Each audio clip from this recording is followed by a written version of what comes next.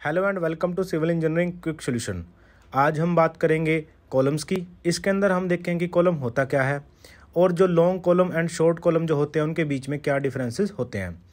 तो बात करते हैं पहले कॉलम की। कॉलम जैसे आपको पता होगा कॉलम एक वर्टिकल मेंबर होता है, जो कि कंप्रेसिव लोड लेता है। यानी कि जब कॉलम के ऊपर कोई लोड आएगा तो वो उसको एक्चुअली ट्रांसमिट करेगा फाउंडेशन के ऊपर।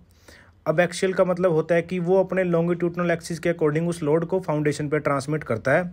तो अगर आपके पास कभी क्वेश्चन आए कि कॉलम एक कंप्रेसिव मेंबर है या टेंसाइल मेंबर है तो आपको ये याद रखना है कॉलम एक कंप्रेसिव मेंबर है। तो अब बात करते हैं long column and short column के डिफरेंसेस की। तो सबसे पहली बात, जब आप long column and short column को देखोगे तो जिसकी लेंथ ज़्यादा होगी कॉलम की वो जनरली लॉन्ग कॉलम होगा। ऐसा कोई हार्ड एंड फास्ट रूल नहीं है। इसके बारे में मैं आपको आगे बताऊँगा, जो टेक्निकल जो पॉइंट्स हैं।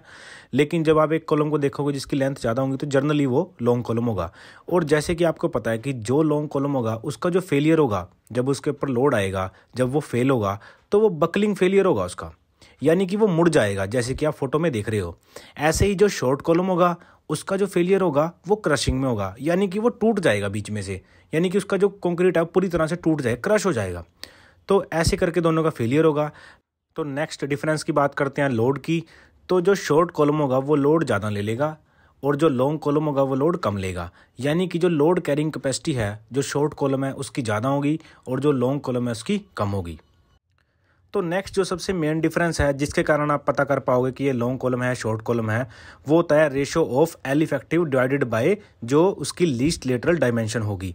तो एल इफ़ेक्टिव अलग अलग कॉलम के लिए अलग अलग होगा। यानी कि अगर बोथ एंड हिंज होंगे तो अलग होगा। अगर बोथ एंड फिक्स्ड होंगे तो अलग होगी एल इफ़ेक्टिव एल इफ़ेक्टिव हम बोलते हैं इफ़ेक्टिव लेंथ को। तो इफ़ेक्टिव लेंथ फिक्स्ड के लिए अलग होती है हिंज के लिए अलग होती है। तो जैसा आप कॉलम यूज़ कर रहे हो, उसके अकॉर्डिंग आप जो इफ़ेक्टिव लेंथ है वो ले लोगे और डिवाइड करोगे उसको, जो उसकी लीस्ट लेटर डायमेंशन है। लीस्ट लेटर डायमेंशन क्या होगी? जो उसका क्रॉस सेक्शन होगा। क्रॉस सेक्शन में उसकी विर्थ में दो डायमेंशन होंगी। तो जिस जो दोनों में से सबसे कम होगी, उसको बोलेंगे हम लीस्ट लेटरल डायमेंशन उनके रेशो का, अगर उनका रेशो बारह से ज़्यादा है तो वो होगा लॉन्ग कॉलम अगर वो बारह से कम है रेशो तो वो होगा शॉर्ट कॉलम यानी कि L effective by least lateral dimension अगर 12 से ज़्यादा है तो लॉन्ग कॉलम होगा, और अगर 12 से कम है तो शॉर्ट कॉलम होगा। नेक्स्ट डिफरेंस है रेडियस ऑफ़ जायरेशन का, जो लॉन्ग कॉलम में रेडियस ऑफ़ जायरेशन कम होगी, और जो शॉर्ट कॉलम में रेडियस ऑफ़ जायरेशन ज़्यादा होगी।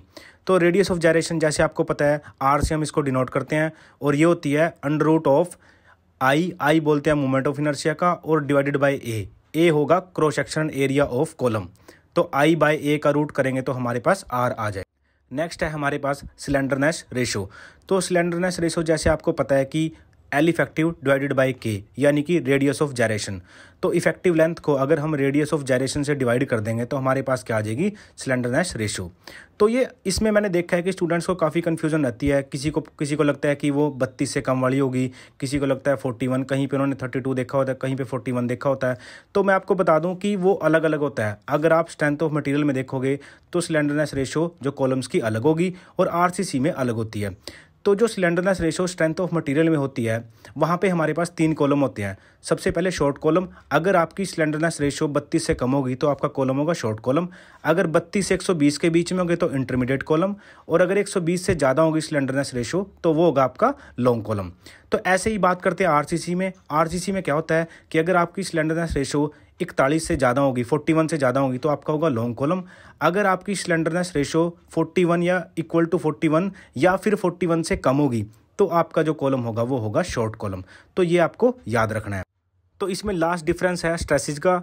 जो लॉन्ग कॉलम में स्ट्रेसिस आएँगी, वो होंगी बकलिंग स्ट्रेसिस और जो हमारे शॉर्ट कॉलम में स्ट्रेसिस आएँगी, वो होंगी हमारी क्रशिंग स्ट्रेसिस तो ये सब डिफरेंस थे long column and short column के। तो आई होप इसमें आपको सब समझ आया होगा। अगर इसमें आपको कुछ ना समझ आया तो आप मुझे पूछ सकते हैं। अगर आप चाहते हो कि मैं स्लेंडरनेस रेशो और जो रेडियस ऑफ़ जायरेशन है, इसका डिटेल में वीडियो बनाऊँ तो आप मुझे कमेंट सेक्शन में ज़रूर बताएँ। Thanks for watching